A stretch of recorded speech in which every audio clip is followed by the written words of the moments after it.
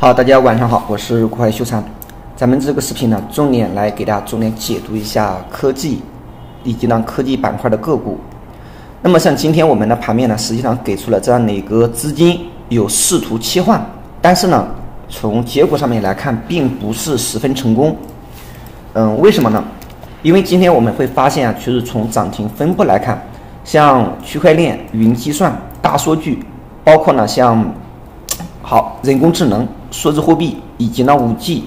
都有一定程度的表现，但是呢，它的一个不足之处在于缺乏一个核心，缺乏一个主心骨，就呢还呈现的是一种比较零散的一个表现。同时的话呢，这也从一定程度去表达什么呢？就是当前不管是区块链也好，云计算也好，包括呢像大数据以及呢咱们前面讲到的像五 G，呃，甚至说呢像人工智能。他们更多的呢呈现的依然是处于这样的一个嗯超跌反弹的一个范畴，但是从资金来看的话呢，其实像人工智能也好，包括像数字货币以及呢像五 G 方向，它近期的量能是有所回升。那么这从一定程度呢可以做出两个解释，哪两个解释呢？第一个，资金是有所尝试，那么它尝试的一个目的和方向是什么呢？尝试的目的是带。当能源车、新能源周期如果说一旦陷入退潮，那么新的方向必然是当前资金尝试的方向。就是呢，第一个是资金在进行一种尝试。那么第二点的话呢，当前的尝试还缺乏主心骨，就是呢，尝试目前为止还不能认为已经切换了，或者说呢，不能认为已经切换成功了，它只能视为什么？视为。这样的一个试盘的一个动作，好，那么从中我们要通过这样的一个市场动态，能够提前做出反应和准备。那么今天有些个股，包括呢像科技当中率先涨停的个股，就非常值得我们去注意。注意的目的呢，第一个，观察后面哪一个具体的方向能不能成为市场的新的主流。第二个呢，那么具有标杆性的。具有有一定的人气、标识度高的，那么呢，未来存不存在一些新的介入的机会？这是我们需要考察的重点。好，那么呢，咱们再来看一下，从个股层面来讲呢，咱们嗯节省一下时间。好，例如说，像五 G 方向呢，像东方通信和东信和平这两只个股呢，技术形态基本一致。但是这两只个股的话呢，我们会发现它都是属于嗯涨停，然后呢多日调整再涨停。但是呢，具体再去比较的话呢，像两只两次涨停，像今天，像我们的东方通信，它涨停的时间要早于东信和平。其次的话呢，我们再来看第一次，在我们的十二月二十九日的时候，那么呢，东方和东信和平也是呢属于哎涨停开板。那么像东方通信的话呢，它是涨停没有开板的。那么二者选一，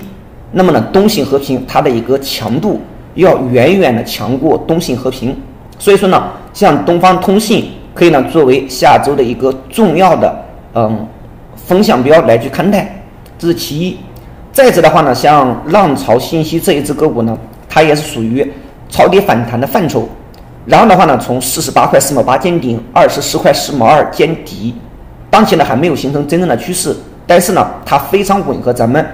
嗯，手板掘金的这样的一个方法。那么呢，涨停过之后呢，它是一个突破这样的一个斜向下的趋势线、趋势压力线。那么呢，后面只要说有回踩的机会，可以用超短的一个视角来进行跟踪。再往下呢，像正通电子这只个股的话呢，它也是属于前面涨停。涨停过之后呢，冲高回落，今天再涨停，其实它是一种像这种啊涨停板，就是属于 N 字板，或者呢属于嗯这样的一个涨停多日之后调整多头再涨停。那么这样的个股的话呢，它是属于一种加强的信号。那么它也可以呢，但是它是属于呢没有形成这样的一个突破，所以呢也只能作为短线、超短线的视角来进行跟踪。再往下呢，像豫银股份，豫银股份呢前面走过。两连板的这样的一个迹象，而且在两连板之前的话呢，它在十二月十七号有过十二月十七号有过呃收盘涨停，然后呢调整多日两连板，然后呢再调整多日，今天再出现涨停，量堆呈现的比较好。那么像这一只个股呢，它是有机会，如果说该方向走强的话呢，这类个股是有机会，嗯，就呢有这种撑腰的可能性和潜力。当然了，现在说还为时尚早，只能作为一个观察的对象。这是零零二幺七七，像盛阳股份咱们就不讲了，因为昨天，呃，用咱们复盘涨停呢点到唯一的个股，今天确实很强，直接给出一字板。那么给出一字板的话呢，对于普通散户来讲也没有参与的机会。其实呢，讲到这一点，想给大家吐槽一下，就是呢，对于股市来讲，尤其是股市的这样的一个机制，散户呢始终是处在弱势群体。那么对于极强的个股，例如呢，不管是有利好消息也好，或者说是有一些嗯概念或者风口炒作，有这样的一个信息刺激，那么一些优质的个股呢，它直接上演这样的一字板，散户也没有参与的这样的一个可能性，或者呢很难参与其中。像盛阳股份就是这样的例子，前面呢也有其他的例子，所以说呢，极强没有参与的机会，那么极弱。也没有参与的价值，所以说呢，讲到这一块呢，其实我们如果说把很多事情看明白、想明白，更多的话呢，是属于把握较强以及什么呢？以及适合我们的交易模式，同时的话呢，市场又给机会，它是一种多个条件共振，我们才能够哎合适的、舒服的去参与。那么讲到这一块的话呢，例如说像咱们前面给大家讲到，像五 G 的两个风向标，一个呢是机构的维度呢看中兴通讯，然后呢游资的维度呢看的是武汉反股。那么中兴通讯呢，咱们前面给大家讲到五 G 的时候呢，就给大家讲到一个核心观点，五 G 呢它是一个超跌反弹，但是呢也不会局限于一日游。然后呢像中兴通讯首板涨停过之后，好，然后呢调整，然后呢再有冲高回落。那么今天的话呢，其实盘中也有资金异动。资金异动的话呢，最高也是冲到将近七个点，而后的话呢有所回落。那么讲到这个地方的话呢，那么接下来，呃，咱们因为咱们在前面呢给大家讲到过，就是一季度上半场的话呢，像能源资、呃新能源、军工，它可能是成为主流。然后呢，下半场的话呢，像五 G、人工智能等等，像这些方向的话呢，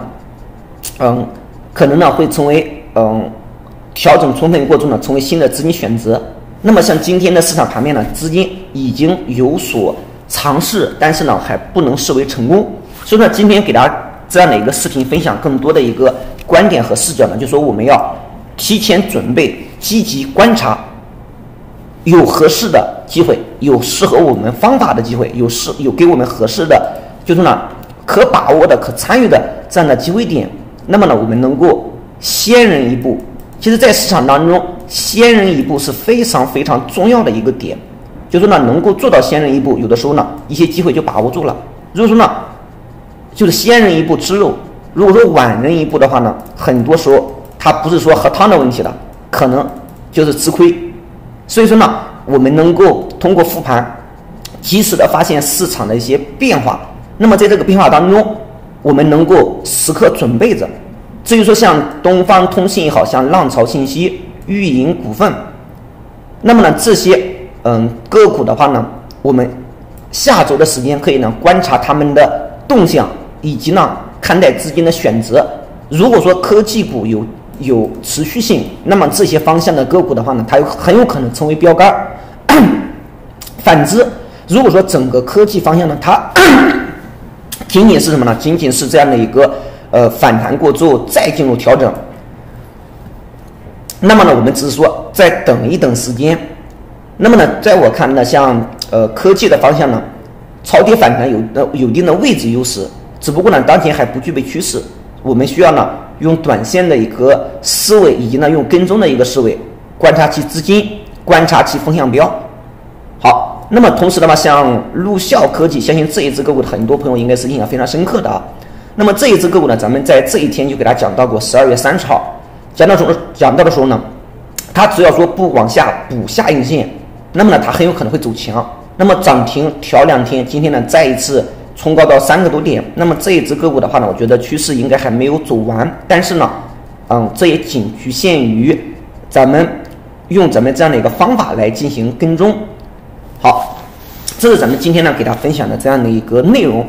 嗯，至于说像嗯新能源方向，像能源车方向，咱们呢在稍后会给大家专题的一个嗯分析和推敲。我也看到有部分朋友的留言，例如说呢，像咱们前面给大家重点讲到的，像锂电池方向里面的像诺德股份，那么呢今天再一次呢，嗯反包涨停，很开心。那么咱们在首板的时候讲到，讲到时候呢，当时它也是属于这样的一个涨停撞顶，后面呢是属于突破性缺口二连板。后面的话给阴线的时候呢，讲到它有大概率反包的这样的一个预期，因为呢它属于大的平台突破，大的平台突破之后呢，小的平台再次突破，这是诺德股份，包括呢像格林美，格林美的话呢也是用同样的一个视角，大的平台突破，然后呢突破之后呢首板后面的话呢给出回踩过之后呢，也给大家讲到有很强的反包的预期，那么呢反包涨停，调整再涨停，像格林美。包括呢，像洛阳木业，那么至于说像很多像呃锂电池也好，特斯拉也好，包括能源车，包括新能源，很多强势的个股呢，确确实实已经高高在上。那么有没有一些嗯其他的一些机会，高低切换的机会？那么呢，咱们在下一个视频当中呢，再给大家专题进行讲解。好，这是咱们今天给大家讲到的内容，核心的观点呢，科技今天有资金在试盘，有尝试。目前还不能视为风格切换，但是呢，我们要做好准备，就是观察后面资金以及呢板块的内部轮动，以及呢风格的这样的一个短暂的轮动。好，那么今天点到呢也仅供参考。那么像这些个股，像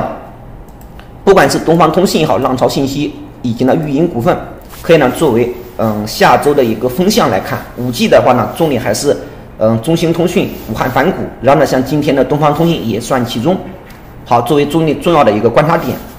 好，喜欢的朋友呢，记得点击关注，同时呢，欢迎积极的留言点赞。好，再见。